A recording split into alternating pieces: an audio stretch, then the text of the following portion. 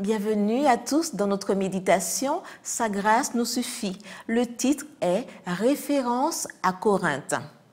Que la grâce du Seigneur Jésus-Christ, l'amour de Dieu et la communion du Saint-Esprit soient avec vous tous. 2 Corinthiens 13, verset 13.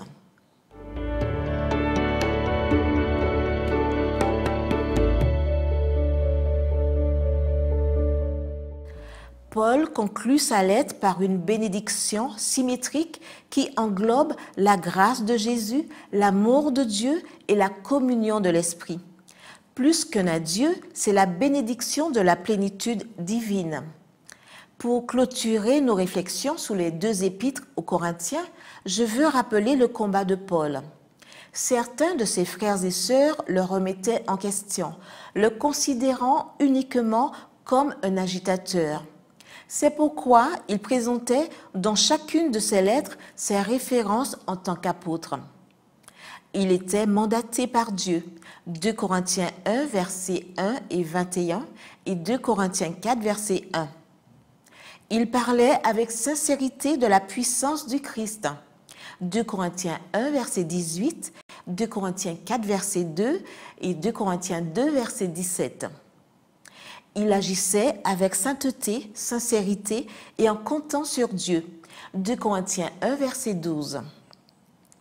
Il était objectif et sincère dans ses lettres. 2 Corinthiens 1, verset 13 et 14. Il avait le Saint-Esprit et était rempli de la puissance de Dieu. 2 Corinthiens 1, verset 22 et 2 Corinthiens 13, verset 4. Il aimait les croyants. 2 Corinthiens 2, verset 4, verset 6 et verset 11, et 2 Corinthiens 11, verset 11. Il travailla parmi eux et transforma leur vie. 2 Corinthiens 3, versets 2 et 3. Il fut un exemple pour les croyants. 2 Corinthiens 3, verset 4, 2 Corinthiens 6, versets 3 et 4, et 2 Corinthiens 12, verset 6 il n'abandonna jamais. Il endura la souffrance et le danger. 2 Corinthiens 4, verset 1 et verset 16 et 2 Corinthiens 11, verset 23 à 33. Il enseignait la Bible avec intégrité et autorité.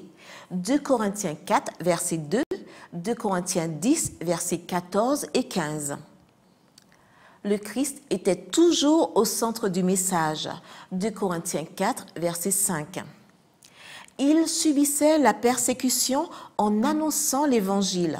2 Corinthiens 4, verset 8 à 12 et 2 Corinthiens 6, verset 4 à 10. Il était ambassadeur du Christ. 2 Corinthiens 5, verset 18 à 20. Il vécut et évangélisa avec pureté patience. 2 Corinthiens 6, verset 6.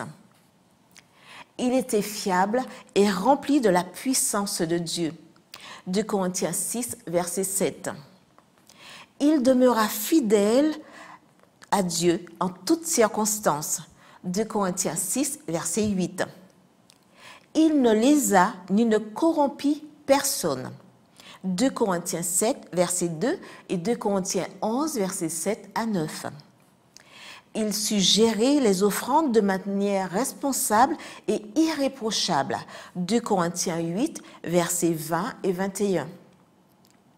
Il réalisa l'œuvre de Dieu avec les armes divines et non avec les siennes.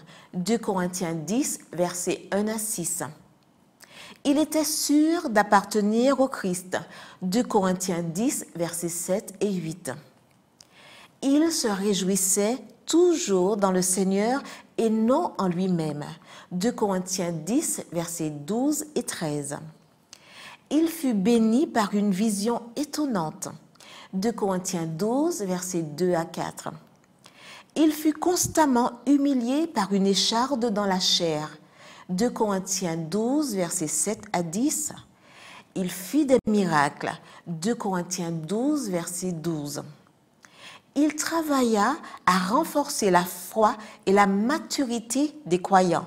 2 Corinthiens 12, verset 19, 2 Corinthiens 13, verset 9. il passa l'épreuve avec succès. 2 Corinthiens 13, versets 5 et 6. Voilà les références de Paul et ce sont celles que nous devrions présenter aujourd'hui. Ce n'est peut-être pas facile, mais y a-t-il un autre moyen?